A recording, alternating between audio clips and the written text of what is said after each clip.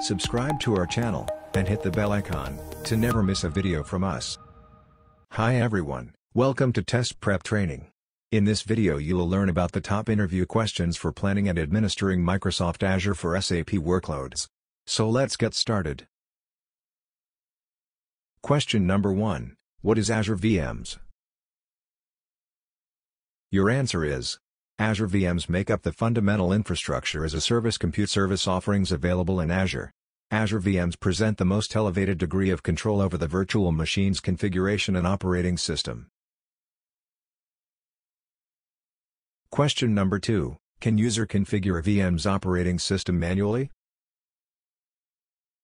Your answer is Users can configure a VM's operating system manually, or in an automated manner, by utilizing virtual machine extensions. VM extensions rely on technologies such as desired state configuration, Windows PowerShell scripts, Chef, or Puppet. Question number 3, is it possible to change an instance size once the virtual machine has been made? Your answer is, yes, we can. This is possible by navigating to Size under Settings option, we could be able to change the instance type to higher or lower configurations. Question number 4, what do you understand by Azure Storage for SAP workloads? Your answer is, Azure has multiple storage types that vary vastly in abilities, throughput, latency, and values. Some of the storage types are well suited or optimized for particular SAP workload scenarios while others are less so.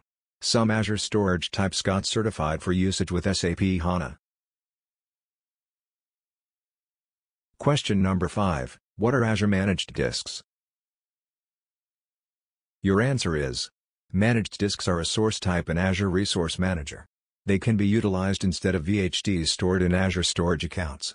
Also, Managed disks automatically adjust with the availability set of the virtual machine they're connected to. They enhance the availability of your virtual machine, and the services that are working on the virtual machine. Question number 6. Define Azure Premium Storage.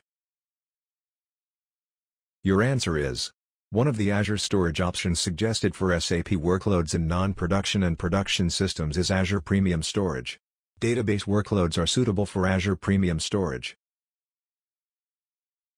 Question number 7. What are the four methods for provisioning storage for SAP workloads in Azure? Your answer is the four methods for provisioning storage for SAP workloads in Azure are as follows. 1. Azure VM Disks. 2. Azure VM NFS Storage. 3. SAP HANA on Azure, Large Instance, Storage. 4. Azure VM SMB Storage. Question number 8. Explain load balancers. Your answer is To assign traffic to virtual machines in the application tier subnet, load balancers are applied. When using Azure Zones, practice the standard load balancer. For high availability, utilize the built-in SAP Web Dispatcher, Azure Load Balancer, or other mechanisms, depending on the traffic type or the required network services. Question number 9. What is Proximity Placement Group? Your answer is, this logical group puts a constraint on VMs deployed in an availability set or a virtual machine scale set.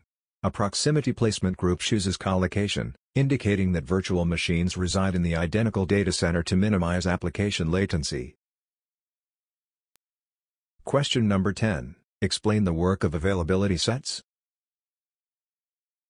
Your answer is, to increase service availability, availability sets disperse servers to multiple physical infrastructure and update groups. To assist protect against downtime caused by Azure infrastructure maintenance and to satisfy service level agreements, group virtual machines that execute the same task into an availability set. To attain the greater SLA, you'll need two or more virtual machines per availability set. Question number 11. Define Express Route Fast Path. Your answer is, also known as Microsoft Edge Exchange v2, FastPath executes MZ at the entry point of the Azure network. It decreases network hops for most data packets. FastPath lowers network latency, increases application performance, and is the default for new express route connections to Azure. Question number 12. What support options should an user use while operating SAP systems on Microsoft Azure VMs? Your answer is SAP suggests that users should pick one of the following support options when operating SAP systems on Microsoft Azure VMs. 1. Professional Direct. Provides the bare minimum support level, appropriate if you only require support from Microsoft for Azure itself. 2. Microsoft Premier Support. Recommended if SAP workloads are based on Windows Server and or SQL Server. This offers the best enterprise-level support for Azure, Windows, and or SQL Server. Question number 13. What are the functions sustained in an application gateway? Your answer is. It maintains URL-based routing, multiple site hosting, redirection, web application firewall, session affinity, SSL termination, WebSocket, and HTTP/2 traffic. Question number 14. Which designation is allocated to the candidate who successfully clear the exam AZ-120?